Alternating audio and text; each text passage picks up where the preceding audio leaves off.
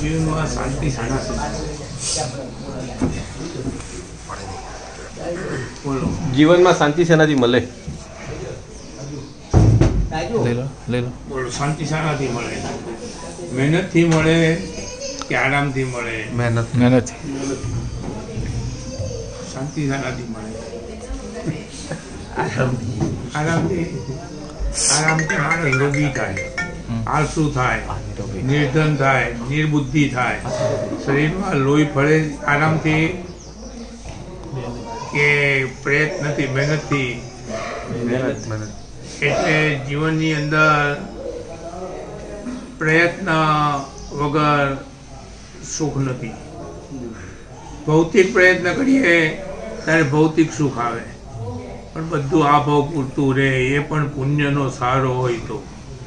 પુણ્યનો સહારો ન હોય તો? આધ્યાત્મિક પ્રયત્ન કરીએ તો ભૌતિક સુખ મળે કે આધ્યાત્મિક સુખ મળે? આધ્યાત્મિક પ્રયત્ન કરીએ તો સુખ ભૌતિક મળે કે આધ્યાત્મિક મળે? બોલો. બંને મળે છે આધ્યાત્મિક પ્રયત્નમાં ભૌતિક સુખની ઈચ્છા નથી હોતી. પણ ભૌતિક સુખ મળે મળે ને મળે જ. સાધના કરનારા દેવલોકમાં જાય સદગતિમાં જાય શું એને ભૌતિક સુખ મળે કે ન મળે? આધ્યાત્મિક સુખવાળાને ભૌતિક સુખની ઈચ્છા. એટલે મળ્યા પછી પણ એમાં લપાઈટા કરે ભૌતિક સુખમાં આરોગ્ય સારું હોય તો ખોરાક વધારે ખાવાનો કે તપ વધારે કરવાનો પૂછો. જેનું આરોગ્ય સારું છે એ આંબી ઉપવાસ એકાશ ન કરે કે તન પેટ ભરીને ખાય.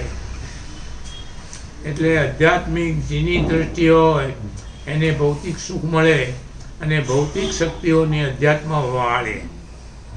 ધન જેને મળે એ ધનને સન્માર્ગે ખર્ચે. પણ ક્યાં કોણ ખર્ચે? આધ્યાત્મિક હોય, આધ્યાત્મિક ન હોય, તો આળ કંપાળમાં ઊંચો ન આવે.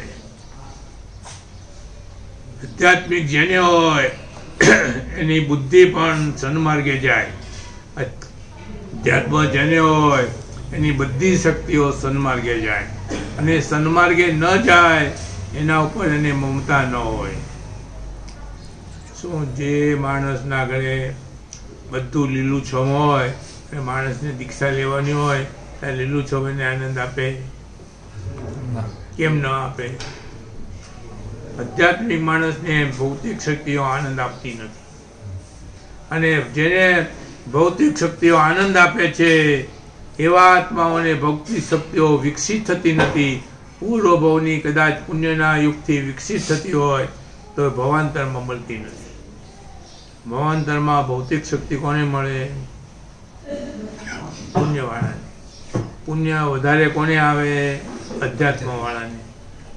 અને અધ્યાત્મવાળાને શક્તિ જોઈતી નથી ને મળે છે કાઢવી છે.